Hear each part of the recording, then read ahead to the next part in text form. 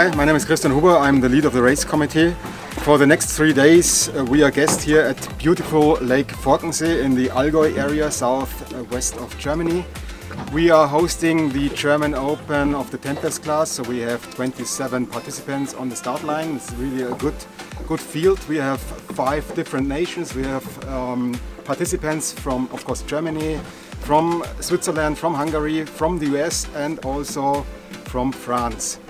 Uh, today we have the first day of um, our event. Currently we have uh, postponed the start.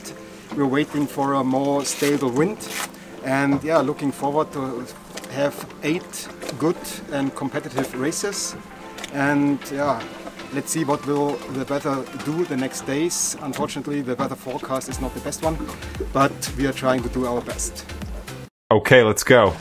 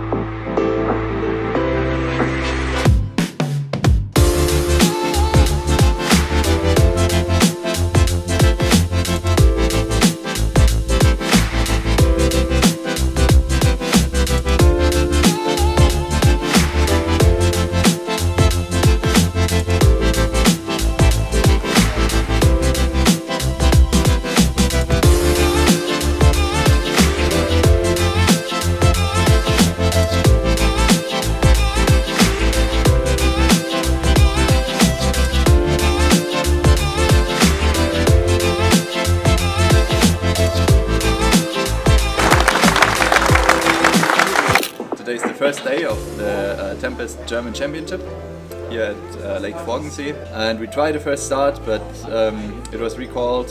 Yeah, there came a big thunderstorm during our uh, way in and we had a lot of trouble. I think everybody managed to, to go in. Uh, Tempest is a good boat to, to do this in these conditions, so everything went fine.